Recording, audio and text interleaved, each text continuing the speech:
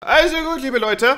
Handheld Stream, ich habe das längere darüber geredet, dass ich ja etwas derartiges vorhab und äh, heute ist der Tag gekommen, wir werden den Handheld Stream machen. Handheld Stream bedeutet in dem Fall, wir werden uns einige Handhelds anschauen, wie zum Beispiel äh, für den Anfang die Switch, denn die Switch ist in der Tat ein Handheld. Und dementsprechend dachte ich mir, hey, fangen wir mit dem langweiligsten und neuesten Teil an, was es so gibt und viel langweiliger neuer als die Switch äh, werden wir nicht werden. Ich, äh,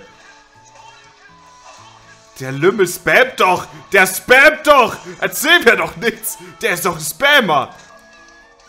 Ich hätte nicht auf super schwer stellen sollen.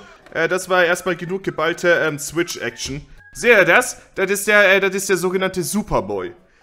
Und äh, der Superboy zeichnet sich dadurch aus... Oh, wenn ich jetzt SNES-Controller da hätte. Mm. Der Superboy von äh, Hyperkind zeichnet sich dadurch aus, dass es ein SNES-Handheld ist. Was ist an sich nach einer un... Ich meine, ihr seht, ich, ich, ich habe ein gutes Spiel zur Seite gelegt, okay? Was an sich nach einer unglaublich coolen Sache klingt. Es ist auch ziemlich cool. Er hat aber einen gewissen Nachteil. Er hat das Spiel nicht erkannt.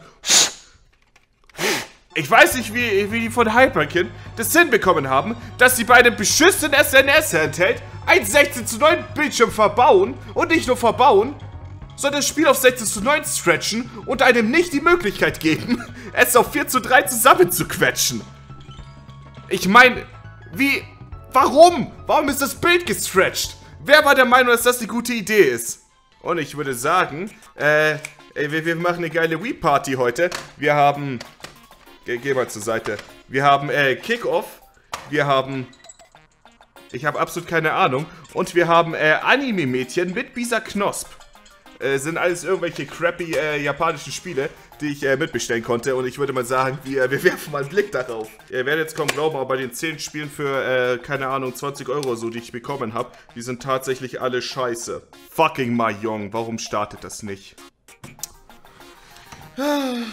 So, erkennt ihr das Spiel? Er erkennt das Spiel. Okay, Leute. Es ist äh, Zeit für... Es ist Zeit für äh, Bisa Knospchan in den Kampf zu ziehen. Äh, Puyo Puyo habe ich mir sagen lassen. Was ist euer Lieblings-Puyo Puyo? Ich habe mir sagen lassen, dass ähm, das äh, Puyo Puyo äh, von Sonic äh, relativ äh, beliebt sein soll. Oder Puyo Puyo Tetris. Das ist also das Original. Welch aufregender Spielspaß. Mir, mir fehlen fast die Worte, würde ich sagen. Mann, bin ich froh, dass ich dieses Spiel bekommen habe. Wahnsinn. Das nächste ist, äh, dicke böse Frau in äh, schlechten 3D. Und es funktioniert nicht.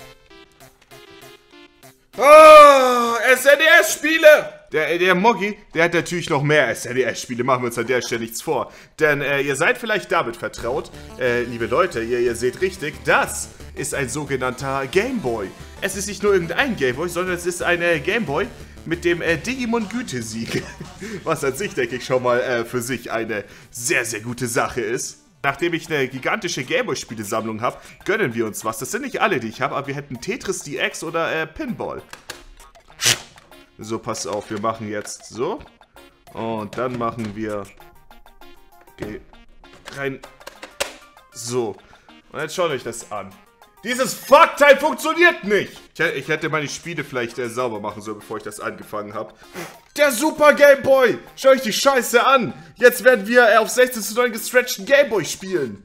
Ich habe einen regulären Gameboy noch irgendwo, aber der funktioniert nicht mehr richtig. Das heißt, äh, ich muss mir irgendwie anders weiterhelfen.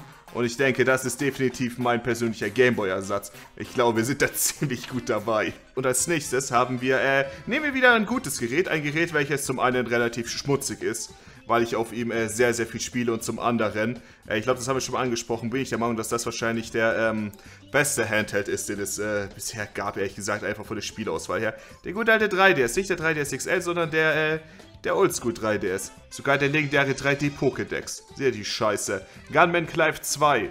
Habe ich nie sonderlich weit gespielt, aber ich hätte es da. Mario und Luigi Paper Jam Bros. habe ich bestimmt für 10 Minuten angespielt. Was für ein Fuckspiel. Pokémon Trading Card Game für den Game Boy. Denn natürlich Natürlich, das war, denkt ihr, der SN, das SNES war bisher die einzige Konsole, auf der wir heute Gameboy-Spiele spielen werden? Natürlich nicht, ihr Idioten, natürlich nicht. Wir hätten hier noch ein bisschen, ähm, hier hätten wir noch was, äh, Pokémon Trading Card Game, fantastisch. Was haben wir sonst noch? Dragon Ball irgendwas, ich meine, wir können hier mal... Nein, nein, du nicht. Du bist leider kein gutes Spiel. Du bist leider absolut kein gutes Spiel. Das ist die Action, für die wir hier sind. Seht ihr? Äh, der, der, Stream heißt äh, irgendwas mit Handheld. Und hier sehen wir die geile Mario Land 2 Action auf dem 3DS. Ey, ich würde sagen, ich habe nicht zu viel versprochen an der Front.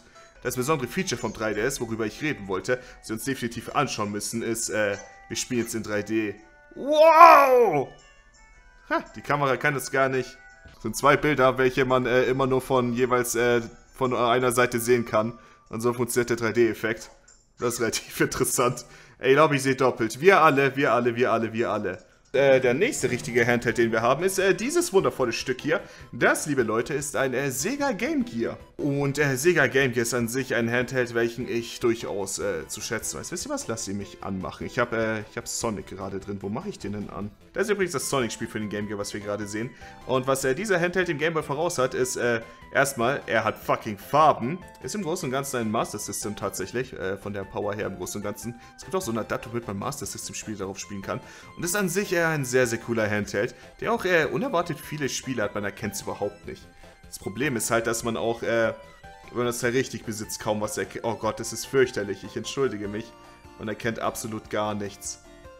Oh, man erkennt nichts. Schau euch das an. Outrun ist ein Spiel, welches auf dem Game Gear tatsächlich äh, sehr viel besser funktioniert als Sonic, wie ich finde. Ja, yeah, schau euch das an. Hört ihr die Musik? Das ist der heiße Scheiß. Outrun ist so ein cooles Spiel und es funktioniert, äh, es funktioniert auf Game Gear unerwartet gut.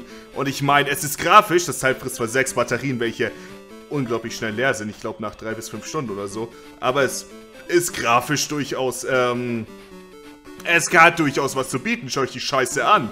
Das ist äh, ein bisschen mehr, als der Gameboy konnte. Und es gibt eigentlich auch echt viele coole Spiele. Ich glaube, der Game Gear ist... Das Problem ist, wenn der Bildschirm nicht so unglaublich scheiße wäre und man darauf kaum was erkennen könnte, weil es so blurry wäre. Ich würde mir unglaublich gern mehr Spiele dafür kaufen. Weil ich tatsächlich... Ich mag das Teil. Es ist, es ist ein sehr cooler Handheld. Als nächstes werfen wir einen Blick auf äh, etwas Klassisches. Das war die ursprüngliche Motivation, weshalb ich den Stream überhaupt machen wollte.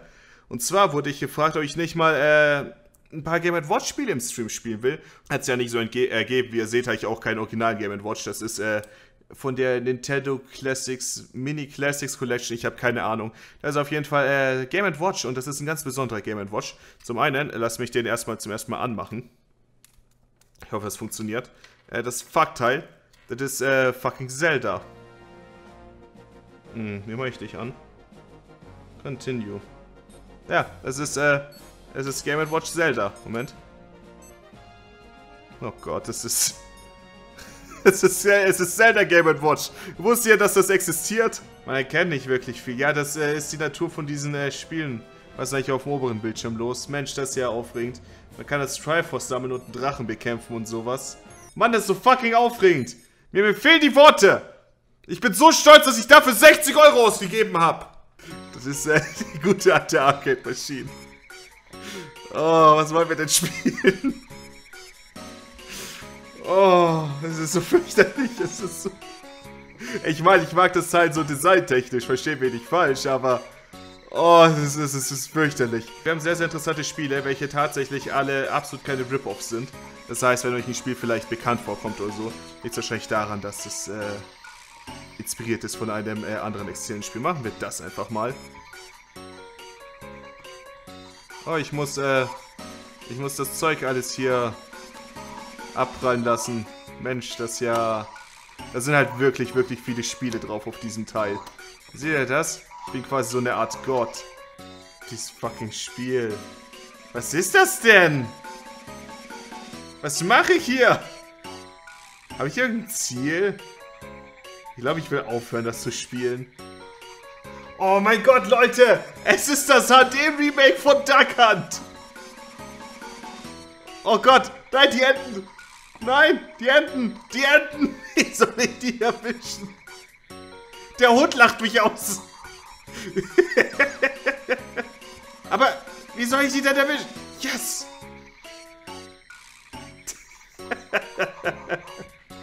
oh, es ist das 4D-Duck Hunt, von dem ich immer geträumt habe. Ich habe in vielerlei Hinsicht meine Zweifel an VR-Tennis. Was? Was?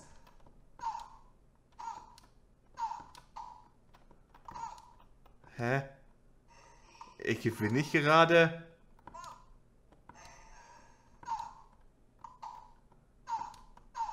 Was? Das sieht gut aus. Schauen wir uns das an.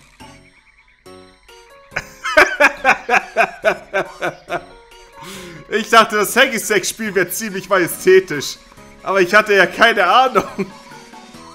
Au, nein, hör auf die Steine mitzunehmen. Steine musst du ausweichen. Mögt ihr Fußball? Ich hoffe doch. Das war ziemlich gut. Aber ich denke, das ist ein guter Name für ein Spiel. Exist.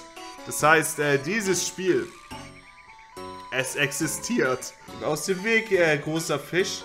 Hindere mich nicht daran zu existieren. Viele sagen, Blut im Stuhl ist ziemlich cool. Aber ich sag, auch wenn es ist schick, mache ich nicht mit. Steht ihr? Mensch, da freut er sich, der kleine Blutbeutel. Cool. Äh, liebe Leute, ich würde sagen, das war so mein, äh, mein kleines äh, Handheld-Showcase vor der Kamera für heute. Ich glaube, es war im Endeffekt äh, relativ unterhaltsam.